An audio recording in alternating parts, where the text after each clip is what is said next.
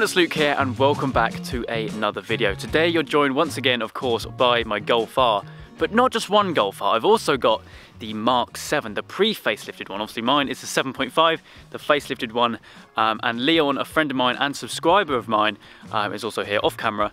Um, and he's kindly brought his along so I can compare it to mine. Because ever since I've bought the Golf R, so a couple of months now, I've received so many questions uh, regarding what is the difference between the Mark 7 and the Mark 7.5. So this video is dedicated especially to you guys who are wondering that.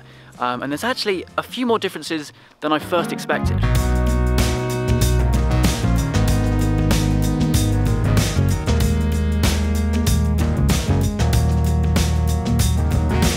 Okay, everybody, meet Leon, who's the owner of this lovely Mark 7 Golf R. It's actually really interesting to have both cars together. But obviously uh, finished in lapis blue, but what other bits and bobs have you got on it?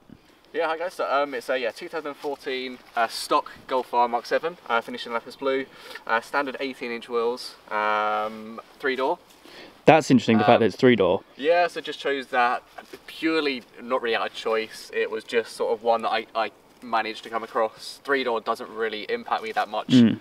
At the moment. It kind of looks a bit more sporty actually. It, yeah, So obviously mine's the five it's door. Quite nice. Um, so yeah, so inside um, we've got the sort of grey uh, Alcantara seats. Mm-hmm. Uh, it is a uh, manual Yes. rather than a DSG. And actually, I didn't realise, you didn't tell me that it was a manual, which is really interesting because I've never seen Yep. a manual Golf R. I think they're quite rare because most of them Mm-hmm. are DSG like mine. Yeah, exactly. And on a, and and if you go to buy one brand new now, uh, DSG is, is the only option. Uh, Hmm. No longer making manual. Is it really? It is, yeah. DSG is No the, the only option now. Um, the yeah, so I mean, manual for myself, I wanted to be sort of a bit more engaged Mm. um, on the road. Definitely. Um, it is fun if you're sort of coming out straight. You can sort of throw it into as, as many gears as you can, as Yeah. fast as you can. Bit heel and toe, Um, bits and bobs. exactly. I mean, there are there are times when I do wish I had DSG, go around sort of a windy road, Mm. try and get into corners as quick as you can, and so on. Um, and also the, the DSG farts. yes, of course. That with this car as well. um, but no, I, I think for myself, it's just a bit more engaged having manual, um, and just it feels a bit more sort of. yeah, no, for for sure, for sure. Yeah, there's there's not much more inside. Um, Like you said, it's it's completely stock, isn't it? So yeah, completely um, stock. Nothing else has been done to the car since I purchased it eight months ago. yeah, Um, so yeah, I've been driving the car for sort of a little while now. Sort of, yeah, got a feel with that, and it is it is a, it's a really good car. yeah, I agree. I mean, I've only had mine for probably two months, but they're they're wicked cars. They wicked, are wicked they are cars. extremely fun to drive.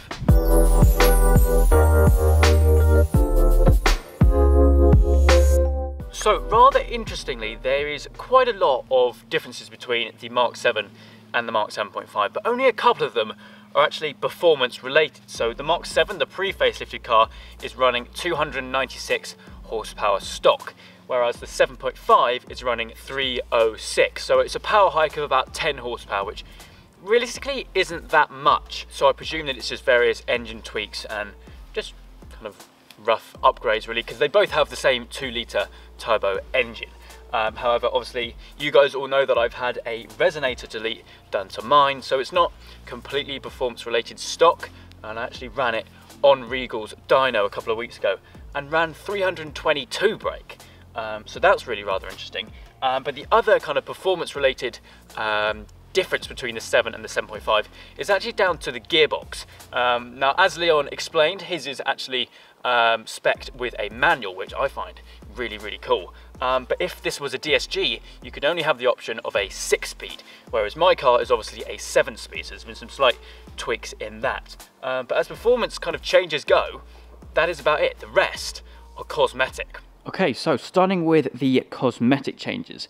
Now, pretty much the whole front end um, of the 7.5 is different compared to the 7.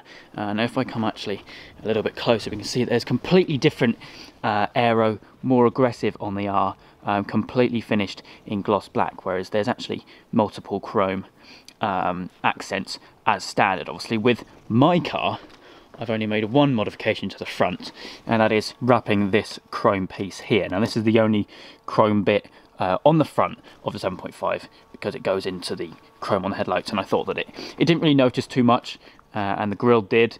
Um, so yeah, you can probably see a completely redesigned front end. Now, the lights are also different front and back. So on mine, you can see uh, it's more aggressive.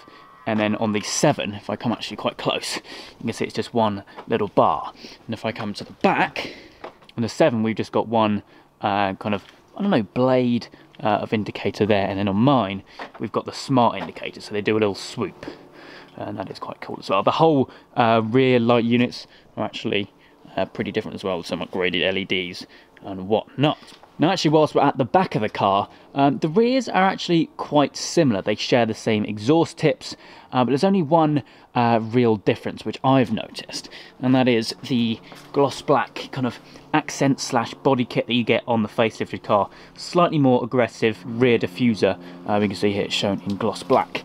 We come over to the 7 because it doesn't have that, but it still does have a little diffuser. As for the side skirts, that's the same story. We've got a slightly more aggressive side skirt on the 7.5, whereas uh, the 7 has a colour matched. Uh, it still is a side skirt, but it's not as aggressive, and I think that's one of the main design cues with the facelift. They've made it a lot more aggressive. If we actually come back to the front, we can see we've got, I wouldn't call them canards, but slightly uh, lower splitter sections and these grill pieces also in gloss black. We still get those on the 7, um, but just not as aggressive and pronounced. Now I'm actually just quickly going to touch on the wheels. Now um, the 19 inch Pretorias that are fitted on my car were not new to uh, the 7.5. Uh, now these actually are the 18 inches uh, on Leon's car, um, which again are available on the 7.5, um, but that's actually just a different spec. But no, the Pretorias do not come with the facelift. You can order them uh, or actually buy one second hand with the Pretorias on. Okay, so that is pretty much it for the uh, exterior differences between the 7.5 and the 7. So what I'm going to do now, I've got Leon's key in my hand, is actually hop in, start it up, and show you the differences between uh, the interiors, because actually, I think that is kind of the main difference. And actually, this is the first time I've sat in a manual Golf R. I'm going to start it up quickly. This is strange, being in a manual say, this uh, the manual gearbox actually feels really rather good. Okay, so inside the car now.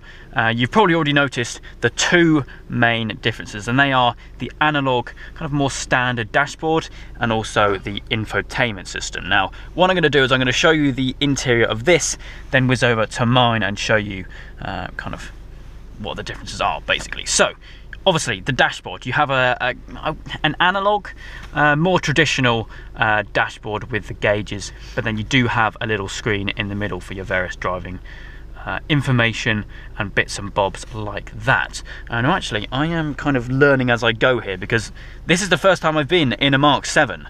Um, now, even though the majority of the gauges, the dials, uh, actually the steering wheel, um, and this central section with the aircon and everything is all the same. Um, but the bits I'm going to talk about uh, are obviously different. So, infotainment system. Um, what I'm getting first off the bat is it's not quite as HD as the 7.5. These buttons along the side, on either side, um, are not I don't know how to explain it. They're not a screen, whereas on the 7.5, I'll show you in a minute, they are built into uh, the screen interface. As for the various controls uh, and kind of aspects of the uh, infotainment system are the same, but it's just been revamped. It's just been facelifted, uh, I suppose you could say. Obviously, all the driving modes, bits and bobs, traction control, they are all the same. Um, so yeah, that is the interior, but I will say it does make a massive difference. As you'll see when I hop into my car in a second, um, the virtual cockpit on mine and also the upgraded touchscreen uh, infotainment system is, it makes a massive difference. But actually, before we do that, I'm just going to spin around quickly and show you these seats. Now, these are, uh, again, the cloth standard seats that you get on the Golf R, the same as mine. However, the difference between the 7 and the 7.5 is the Alcantara uh, is grey instead of black. And I actually don't mind it as much. I think I still do prefer mine because obviously it's black, it's more stealthy, uh, it kind of fits the interior a bit better with all the gloss black uh, accents here and there. But, but it's actually quite interesting how they've changed that. I think for kind of maybe a lighter colour car like uh, maybe a white or actually even a black car, this actually might look quite good, but I'm not sure what it's like um, on the Lapis Blue. Now this is uh, an option which you can't change, you can't get black Alcantara from the factory when you um, when you spec the cloth seats. Uh, the leather seats are obviously a different question. You, they can be full uh, black leather. But there we go. That is the interior of the Mark 7. Um, still a very nice place to be. Um, but let's put over to my car and show you basically the differences. Okay then, back into mine. Now, I have done one little modification to the interior of my car, and you guys which are already familiar to the channel will obviously know that already, and that is the T-Carbon carbon extension paddles. Yes, I know I need to refuel. Um, anyway, so the first thing you'll know is, well, hopefully you'll think, wow. Uh, and to be honest with you, it's a massive difference coming from the 7 to the 7.5. You have this lovely virtual cockpit which you can switch between the different modes. You can see we've averaged 26.3 mpg and that is of course being in race mode, uh, which isn't too bad. I've had it up to about 30 when you're in normal mode on the motorway, uh, but that's a different video. If you guys want me to do um, running costs or average consumption, blah, blah, blah, on the Golf R, then do let me know in the comments. But it's a very easy, um, nice kind of system to use really. It is quite similar to um, the 7 in the aspect that you have these controls on the steering wheel um, to kind of operate the central part of the screen. Um, but it's all been revamped. It's very high quality. It's very sharp actually. Um, very, very nice place to be. Now, obviously, if I were to go into the navigation, you get that on the screen as well. Um, and you can also change uh, the different um, kind of units that you have on here. So here I'm at park and also if I go to drive you'll see that there and then we have the speed there as well. You can change those units uh, as you wish but that's how I've got it there. Moving over to the infotainment system, just put that plug back in there. You can see that it's been massively um, improved, revamped. It's actually a bigger system. I think it's an 8 inch screen here and also these buttons along either side like I was mentioning in the 7 uh, are actually built into the screen. They're touchscreen as well. They're not actual buttons like what you have down here. Now what I'm actually quite surprised about with uh, the 7.5 is why we haven't had an upgraded um, climate control unit. Um, I know it does work, it's perfectly simple, it's very easy to use. I'm gonna whack my heater seat on because it's freezing today, it's four degrees, was about two when we started filming. Um, but I'm surprised that these aren't kind of touchscreen buttons like what you have um, on the screen up here. But we have an awesome G meter and various other eco modes and everything. But actually, if you guys watch my five things I hate about my Golf R, then you'll know that one of them was actually the standard Golf. Um, try and get it. There we go. Standard Golf um, kind of displays, which is annoying. It's a small thing, um, but anyway, back to the G meter because we like a bit of that. Obviously, mine is spec'd with the 7-speed DSG, and like I mentioned uh, a little bit earlier on in the video, um, if you to spec DSG on the 7, you would only get a 6 speed. Now, if I were to just hop out really quickly to show you the difference in seats. Now here we go, we've got the black Alcantara. Now, like I mentioned, these are the standard seats. You can get leather, like what you can spec uh, in the 7, but instead of having grey Alcantara, you have black. And I think for this car, for this spec, it definitely does suit it, along with the white stitching and the white logos. Uh, but it's interesting how they've um, how they've changed that from the 7 being uh, grey Alcantara to black Alcantara. And actually, I love these seats. They're so cool. And they're actually really quite supportive. Um, but anyway, yes, that is the interior. And that is actually pretty much going to round up this video. Okay, so there we go. That is going to round up today's video. Dude, thank you so much for coming along and bringing your car. It's actually been really interesting for me to kind of experience uh, and sit inside and actually look at the pre-facelifted car, the Mark 7 up close, and especially a manual. I've never even seen a manual, and what we were kind of saying off camera is they're actually quite rare, um, and they're stopping making um, what manuals in 7.5 form now or something, wasn't it? Yeah, exactly. You can only so, buy, uh, yeah, DSG. Which is actually quite, I didn't know that.